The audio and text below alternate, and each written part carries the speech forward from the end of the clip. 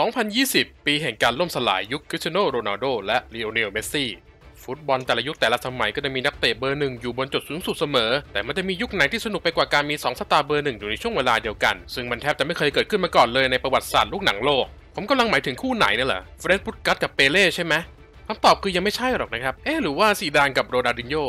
ไม่เลยทั้งสองคนเนี่ยเดบิวต์ห่างกันนานเกิน คำตอบที่ถูกต้องที่อยู่ในหัวของคนที่มีอายุราว 20 ปีขึ้นไป พวกเขาจะไม่ลังเลเลยที่จะบอกว่ามันต้องเป็นโด้และเมสซี่สิวะ ก่อนที่จะเข้าสู่เนื้อหาอย่าลืมกดไลค์กดแชร์กด Subscribe และสั่นกระดิ่งเพื่อแจ้งเตือนคอนเทนต์ฟุตบอลอัดแน่นจากทีมงานฟุตบอลแม็กซ์ด้วยนะครับคริสเตียโนโรนัลโดเริ่มเดบิวต์ในวงการฟุตบอลกับสปอร์ติ้งลิสบอนเมื่อปี 2002 ขณะที่ลีโอเนลเมสซี่นั้นเดบิวต์กับทีมชุดใหญ่ของบาร์ซ่าเมื่อปี 2004 เห็นไหมมันไม่ต่างกันมากนะครับที่มันเหมือนทอมครูซกับแบรดพิตไม่มีผิด เพราะ 2 ซุปตาร์ฮอลลีวูดนั้นเริ่มเป็นนักแสดงในยุค 80 เหมือนเหมือนกันแถมอายุห่างกันเพียง 2 ปี เช่นเดียวกับอายุของสตาร์แข้งทองทั้งสองโรนัลโดนั้นแก่กว่าเมสซี่ 2 ปี CR7 ใช้เวลาอยู่ 4 ปีกว่าจะกลายเป็นแข้งระดับโลก โดยต้องบ่มเพาะอยู่ที่อังกฤษกับแมนเชสเตอร์ยูไนเต็ด ส่วนเมสซี่นั้นขึ้นมาอยู่กับบาร์ซ่าจนถึงฤดูกาลที่ 5 เขาถึงจะเป็นแข้งเบอร์หนึ่งของทีม หลังจากนั้นทั้งคู่ก็ครองความยิ่งใหญ่มาตลอด 10 ปีบนโลกลูกหนัง ตบตีแย่งชิงรางวัลส่วนตัวอย่างบอลลงดอร์พร้อมความสำเร็จมากมายเกินที่จะประเมินค่าได้ แต่งานเลี้ยงย่อมมีวันเลิกรา ไม่มีใครจะสุดยอดและอยู่ยั้งยืนยงไปได้ตลอดกาล อายุพรากอะไรหลาย ๆ อย่างไปจากพวกเขา ใกล้จะสิ้นสุดยุคของสองดาวเตะชื่อก้องโลกอย่างคริสเตียโนโรนัลโดและลีโอเนลเมสซี่ไปทุกขณะแล้ว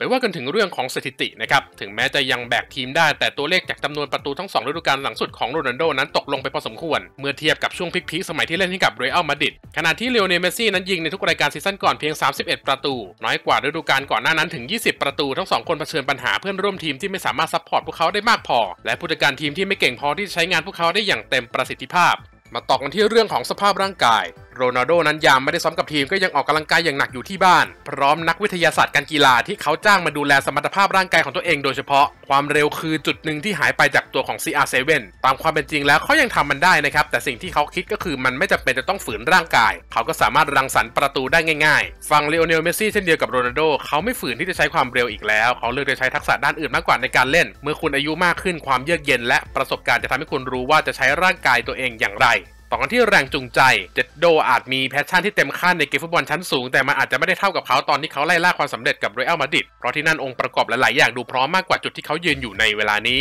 ด้านสตาร์บาซ่า passion เริ่มถอยลงคลองเพราะการจัดการของเบื้องบนภายในสโมสรที่ไร้ซึ่งวิสัยทัศน์ที่เหมาะสมพอจะพาทีมกลับไปยิ่งใหญ่ โดยเฉพาะกับประธานโจเซฟมาเรียบาร์โตเมวจอมปลิ้นปล้อนที่ทำกับเขาราวเป็นอิฐเป็นปูนก้อนหนึ่ง สิ่งเดียวที่ยังยึดเหนี่ยวเขาไว้ได้คือแฟนบอลบาซ่าที่ยังรักและศรัทธาในตัวเทพเจ้าแห่งแคว้นคาตาลัน แต่ณตอนนี้ passion อาจจะมีมากขึ้น เพราะประธานจอมถ่วงประกาศลาออกไปที่เรียบร้อยแล้วเมื่อวันที่ 27 ตุลาคมที่ผ่านมา มันเป็นไปตามกาลเวลานะครับนักเตะที่เราชื่นชมไม่สามารถเล่นให้เราดูไปได้ตลอดชีวิต สิ่งที่ทำได้ก็คือเชียร์ฟุตบอลให้สนุกตามยุคตามสมัย เพราะอีกไม่นานโลกฟุตบอลก็จะเข้าสู่ยุคใหม่ที่นำโดยแข้ง world class คนอื่นๆ ที่รอวันครองบัลลังก์ไม่แน่นะครับคราวนี้มันอาจจะไม่ใช่การต่อสู้เพียง 2 คน แต่มันอาจจะมากกว่านั้นก็เป็นได้ก่อนจะจากกันไปหากท่านใดมีข้อสงสัยหรืออยากติชมและเสนอแนะสามารถเข้ามาคุยกับเราได้ที่คอมเมนต์ด้านล่างนี้ได้เลยนะครับเพราะทุกวันคือฟุตบอลฟุตบอลแม็กซ์